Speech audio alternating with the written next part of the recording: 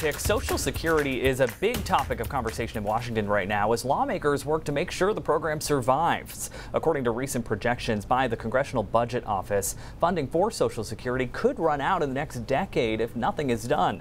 Maine Independent Senator Angus King has been working with a bipartisan group of senators for months to try to address the issue. Recently, King came under fire after reports he and others were discussing possibly raising the retirement age to 70.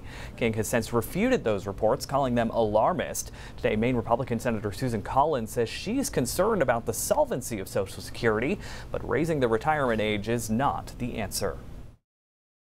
I don't support raising the retirement age to 70. We live in a state where there are a lot of people who have physically demanding jobs. Think of our lobster men and women, our nurses, construction workers. I just don't think it's feasible to say that they cannot receive their retirement benefits until age 70. Senator Collins went on to say that if that were to happen, she believes more and more people would apply for disability benefits.